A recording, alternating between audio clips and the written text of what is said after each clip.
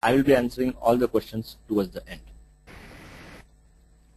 So uh, to start with, to make uh, bring everyone on the same platform and to make sure that uh, there could be multiple people, uh, multiple uh, set of audiences in this particular group who are uh, aware of Azure, who are not aware of Azure. So I'll spend some five to seven minutes on giving a quick overview of what Windows Azure is and how it is useful in today's world.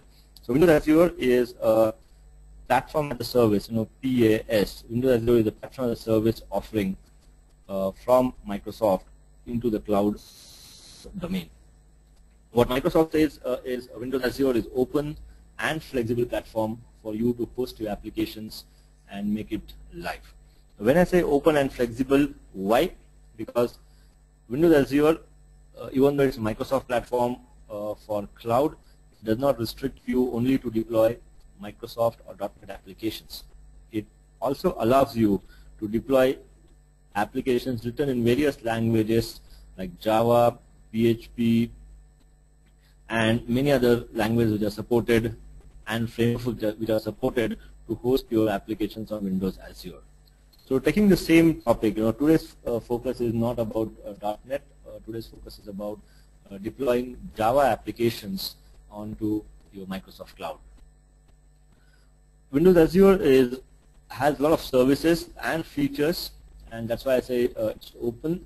And these uh, features and services are exposed using the REST protocol uh, for people. So that's where uh, it makes uh, Windows Azure platform very open so that uh, communication of different applications can happen which are there based on various platforms. Now to support development, what ha what happens is on Windows Azure you should develop your applications, uh, you'll have a lot of uh, libraries which you might require, the SDK you might require to develop the applications. Microsoft uh, supports you by providing the client libraries which are available for many languages through which you can quickly develop your applications in your own language and host them on the Windows Azure platform.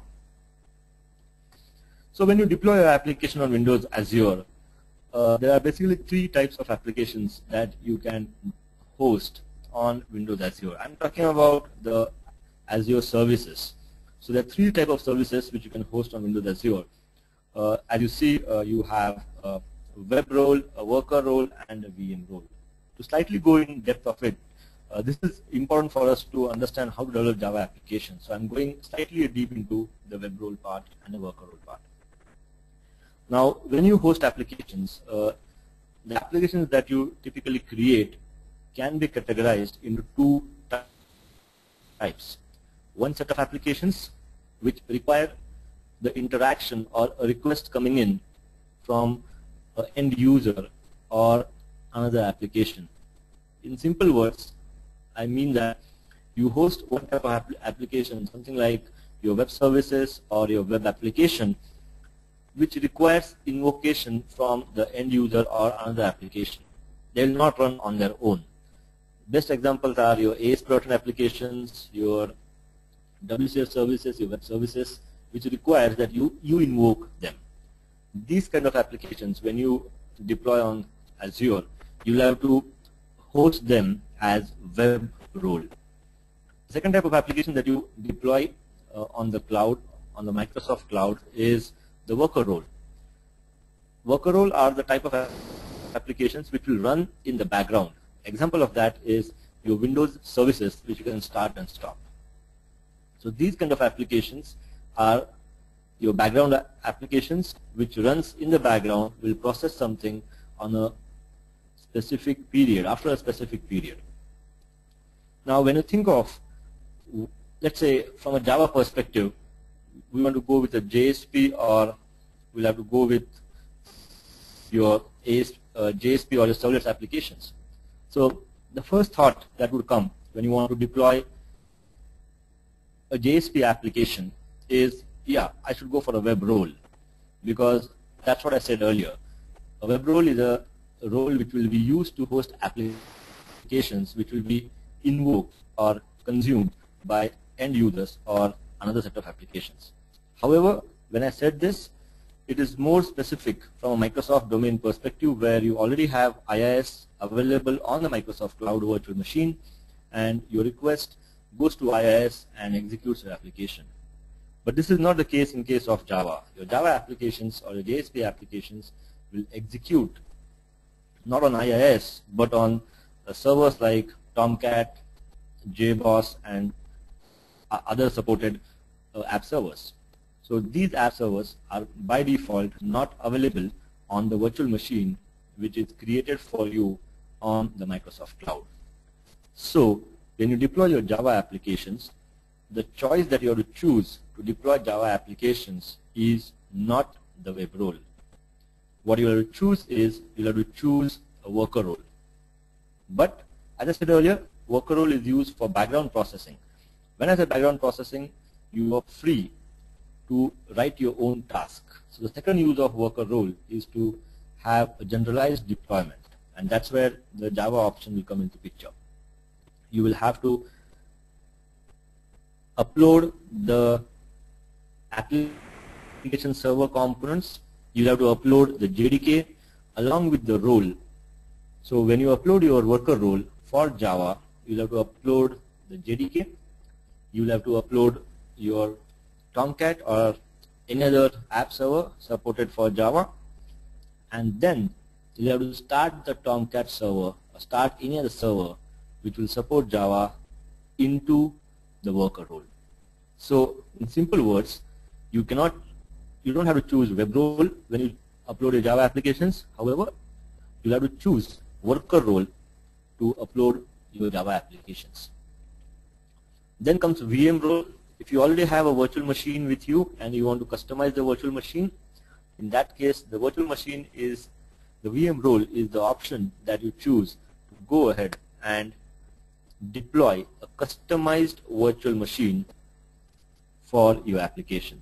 For web role and worker role, you will get a standard virtual machine provided by Microsoft to host your applications.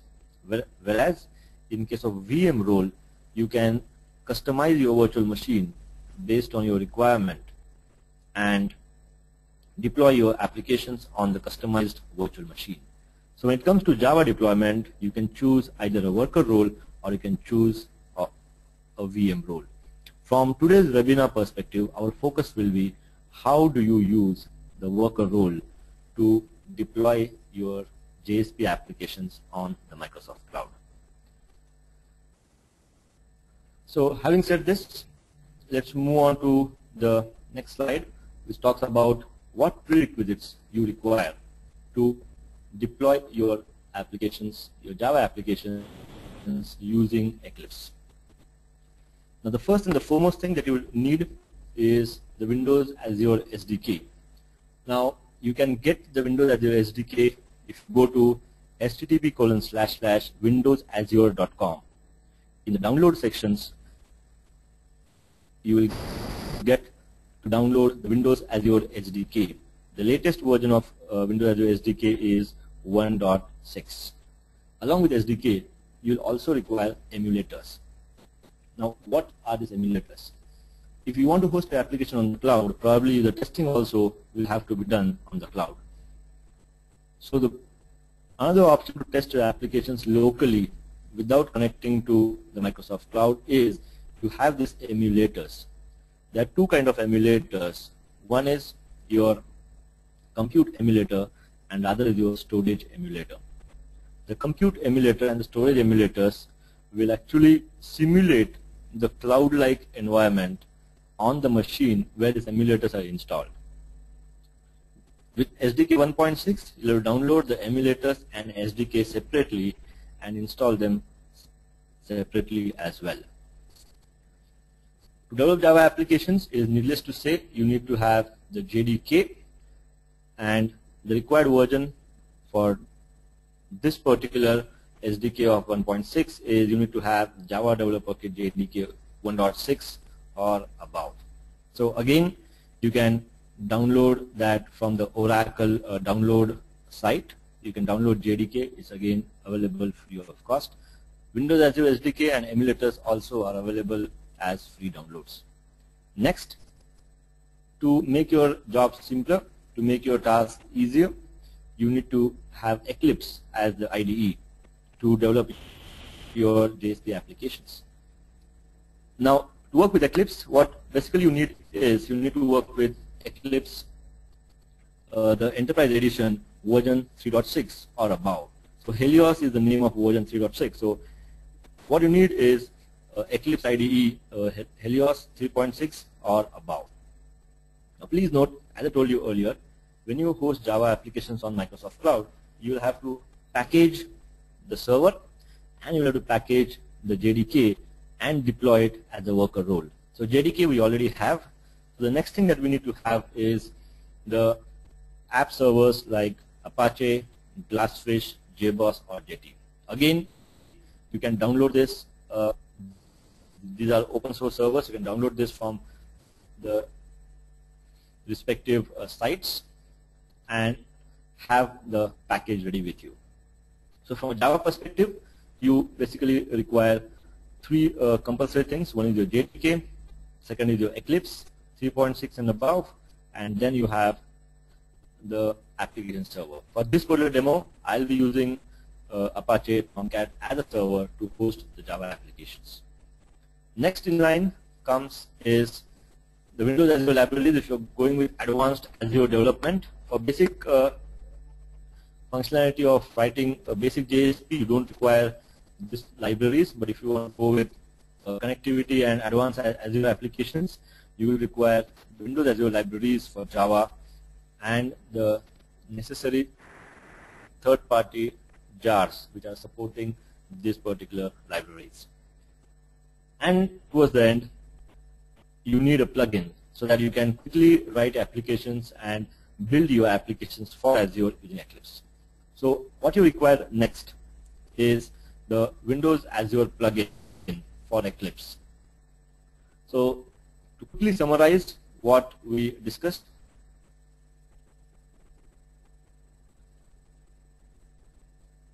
So to quickly summarize uh, what we discussed, we require Windows Azure uh, SDK. So you can go ahead and download the SDK and the em emulators from the Microsoft site. At the same time, you can go ahead and uh, download your JDK, you can download your Eclipse, and download your Apache. So Java, you require Apache, JDK, and Eclipse. From Azure perspective, you require Azure SDK and emulator for testing and building applications. And you also require the Windows as Azure plugin for Eclipse with Java. Now, once you have all these components, which are prerequisites to go ahead and start today's uh, deployment, what next you need to have is the Windows Azure subscription. Now, pretty obvious, without having a Windows Azure subscription, you cannot go ahead and deploy your applications on the Windows Azure portal.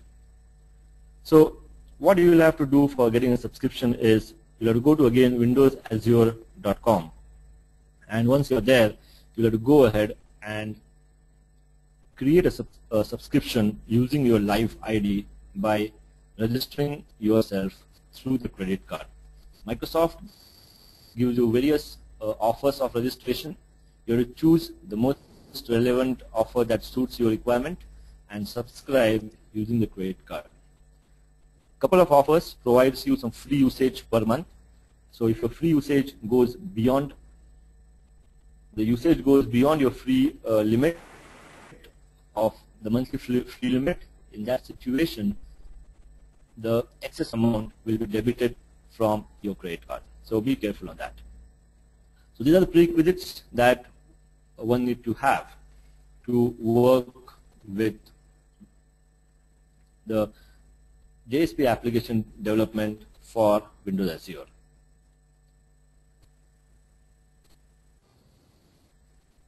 Further is how do we go ahead and configure this particular plugin.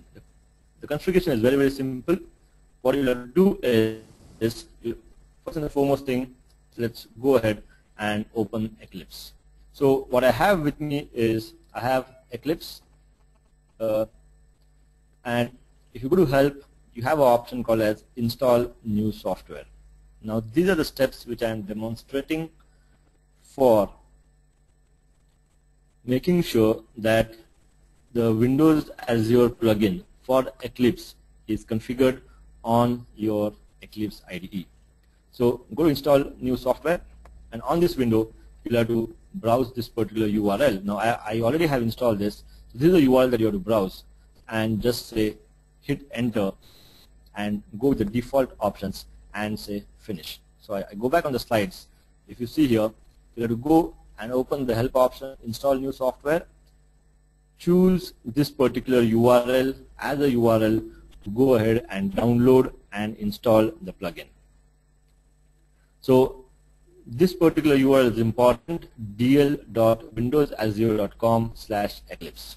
So that's the URL that you type in your text box and press and hit enter out here and your plugin, I have already installed that. So, uh, so this is the plugin that you'll have to go ahead and install the plugin for your IDE. Once the plugin, plugin is installed and configured for your Eclipse IDE, you're all set to go for now going ahead and creating your application, first JSP application which will be hosted on the Microsoft Cloud. So I have nothing further on the slides. It all now is about the demonstration of how we go. So while I, while I do the demonstration, I'll guide on the various options that we come across while you create a demo. So let's go to uh, the Eclipse IDE and the first thing that I'm going to do is I'm going to create a file